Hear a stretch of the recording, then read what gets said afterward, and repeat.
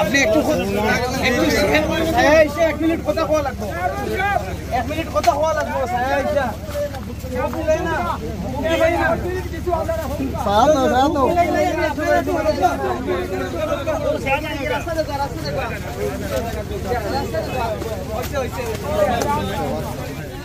তো এলাকাবাসী সবাইকে আমরা সালাম দিচ্ছি। আসসালাম আলাইকুম রহমতুল্লাহ বারাকাত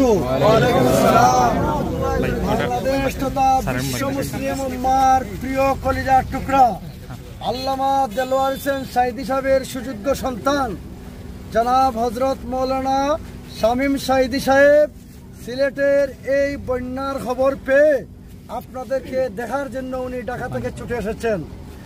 আর এই মাত্র খবর পাইছেন যে আমরা এখানে আসব। আমরা কিন্তু আসার কথা ছিল সারিঘাটে। আপনারা পাঁচ মিনিট এখানে যারা আছেন, খবর পেয়ে দেখা করতে আসছেন। আমি সবিনয় অনুরোধ করব, জনাব কোরআনের পাখি আল্লামা দেলোয়ার হোসেন সাইদি সাহেবের সুযোগ্য সন্তান কলিজার টুকরা সামিম সাইদি সাহেবকে এই অঞ্চলের মানুষের উদ্দেশ্যে সংক্ষিপ্ত একটা কথা বলার জন্য। আসসালামু আলাইকুম রহমতুল্লাহ। আপনারা কেমন আছেন? আলহামদুলিল্লাহ আপনারা যে আলহামদুলিল্লাহ বললেন এটা শুনে আমার ভালো লাগল আলহামদুলিল্লাহ। সর্ব অবস্থায় যে অবস্থায় আল্লাহ তালা রাখেন না কেন? আমাদেরকে আল্লাহ তালা শুক্রিয়া আদায় করা দরকার। সব সময় যে অবস্থায় থাকি না কেন? সেই অবস্থা থেকেই আল্লাহ শুক্রিয়া আদায় করা দরকার কি আলহামদুলিল্লাহ রব্বানা লাকাল হামদ হামদান কাসীরান طيبا মুবারাকান আলহামদুলিল্লাহ আমরা আসলে বন্যা দুর্গত একটা এলাকায় এসেছি আপনার আপনাদের এখানে তো আসার কথা না আমরা গাড়িতে উঠবো এখানে উঠে গেলাম আর আপনারা জড়ো হয়ে গেলেন দেখ আলহামদুলিল্লাহ কোরআনের পাখির ভালোবাসায় আপনারা এখানে জড়ো হয়েছে নাকি? আর কিছু আছে? কোরআনের পাখিকে ভালোবাসেন। কোরআনের পাখিকে কেন ভালোবাসেন? কোরআনের জন্য। আল্লাহর জন্য। আল্লাহর প্রেরিত এই গ্রন্থ যার উপরে নাজিল হয়েছেন তিনি যেরকম সম্মানিত হয়েছেন সারা বিশ্বের কাছে সম্মানিত হয়েছেন মহামানব হয়েছেন সর্বশ্রেষ্ঠ নবী হয়েছেন সর্বশ্রেষ্ঠ রসুল হয়েছেন ঠিক তেমনি এই কোরআনকে যিনি ভালোবাসছেন যিনি কোরআনকে মেনেছেন তারা সবাই সম্মানিত হয়েছে। ঠিক কিনা? আপনারা জানেন রমজান মাসের বরকত কেন এত? ফজিলত কেন? বলেন। কোরআন নাজির হওয়ার কারণেই রমজান মাসের বরকত। ঠিক কিনা? তো কোরআনের পাখি আল্লামা সাইদিকে ভালোবাসেন কেন? তিনি এই গোটা বাংলাদেশের সকল অঞ্চলে প্রত্যন্ত অঞ্চল গ্রামগঞ্জ থেকে শুরু করে আপনার এই সিলেটে অসংখ্যবার এসেছেন কোরআনের কথা বলেছেন। সিলেটের আলিয়া মাদ্রাসার মাঠ কমপক্ষে চল্লিশ বছর ধরে তিন দিন ব্যাপী তাফসির মাহফিল হয়েছে হয়েছে না? তাদের কাছ থেকে তার কাছ থেকে ওই ওই মাঠ থেকে আপনারা কোরআনের কথা শুনছেন। আপনাদের এখানেও আসেন কিন্তু বেশি আসছেন কোথায়? সিলেটে। তো সেইখান থেকে আপনারা তার কথা শুনেছেন তাকে ভালোবেসেছেন। তার কথা শুনে অসংখ্য মানুষ কোরআনের ইসলামের ছায়াতলে এসছে। আজকে এই যে বারোটা বছর ধরে জেলের মধ্যে বন্দি অবস্থায় আছে। এই বারোটা বছর যদি উনি মুক্ত থাকতেন বারোটা মানুষ কমপক্ষে হলো নামাজি হতো। বারোটা মানুষ কমপক্ষে হইল মুসলমান হইতো। ঠিক। কিনা? যেহেতু ভালো মানুষ গড়ার একজন কারিগর ছিলেন এই কারণেই তাকে বন্দি করে রাখা হয়েছে ঠিক আছে? দেখেন আজকে বারো বছরের মাত্র আর কয়দিন আছে? আজকে তেইশ তারিখ জুন মাসের তেইশ তারিখ। দুই হাজার দশ সালের উনত্রিশে জুন তাকে গ্রেপ্তার করা হয়। আর আজকে তেইশ তারিখ আর মাত্র কয়টা দিন? পাঁচটা দিন পরে একদম এক যুগ হয়ে যাবে।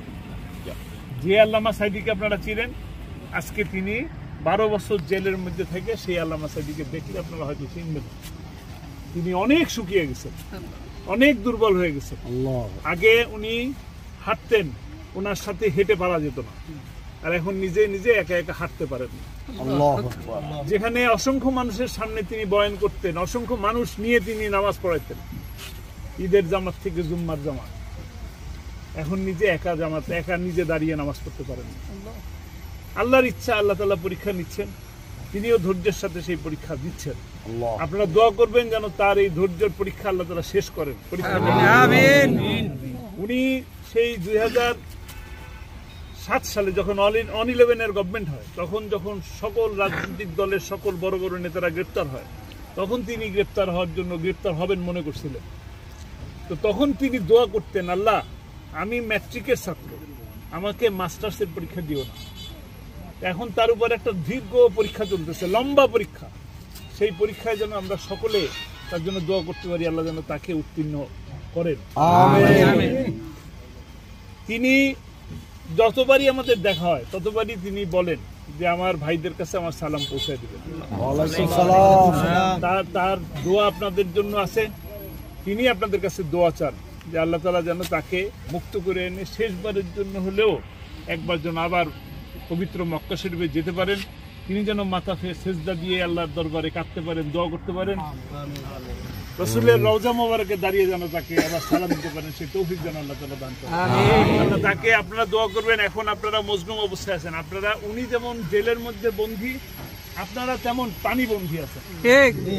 এই পানিবন্ধী মানুষরা মজলুম আপনারা দোয়া করবেন আল্লাহর দরবারে চোখের পানি ফেলে আল্লাহ যেন তাকে মুক্ত করে আপনাদের মাঝে কোরআনের মাঝে তাকে যেন ফিরিয়ে দেন। আর আমি দোয়া করি আল্লাহ তালা আপনাদের যে দুর্ভোগ দিছে দুর্দশা দিছে পানির যে বন্যা দিছে আল্লাহ তালা এই বন্যার থেকে যেন আল্লাহ আপনাদেরকে পরিত্রাণ দেন। আপনাদের রোগ বালাই থেকে আল্লাহ তালা যেন মাফ করেন। সকল ধরনের বিপদ আপদ মুসিবত থেকে যেন আল্লাহ তালা আমাদেরকে গোটা দেশ আমাদের বাংলাদেশ খুব দুর্বল এবং দরিদ্র একটা দেশ। এই দেশে এই বন্যার কারণে ব্যাপক ক্ষয়ক্ষতি হয়ে যাচ্ছে। আপনার এই সিলেট সুনামগঞ্জ মৌলভীবাজারই শুধু বন্যা হয় নাই। কিশোরগঞ্জ কুড়িগ্রাম পঞ্চগড়। পঞ্চগড় বিভিন্ন জেলায় আপনার বন্যার পানি চলে যাচ্ছে। আল্লাহ তালা এই পানির থেকে আমাদেরকে রক্ষা করুন। পানি নেমে গেলে আবার আরেক ধরনের সংকট তৈরি হয়। সেই সংকট থেকেও আল্লাহ তালা তার কুদরত দিয়ে আমাদেরকে রক্ষা করুন। আর দোয়া করি আল্লাহ তালা আপনাদেরকে ভালো রাখুন সুস্থ রাখুন। আর আমাদের জন্য দোয়া করবেন আমরা যেন আপনাদের পাশে বিপদে আপদে সবসময় যেমন থাকতে পারি। বাংলাদেশ জামাত ইসলামী সকল ধরনের দুর্যোগে আপনাদের পাশে থেকেছে। থেকেছে কিনা? ভবিষ্যতেও যেন আমরা আপনাদের পাশে থাকতে পারি সেই তৌফিক যেন আমাদের দেন। আর আপনারা যেন ভালো থাকেন। আমরা যেন ভালো ভালো কাজ বেশি করতে পারি সেই তৌফিক আল্লাহ। তৌফিক ইল্লা বিল্লাহ। আসসালামু আলাইকুম রহমতুল্লাহ।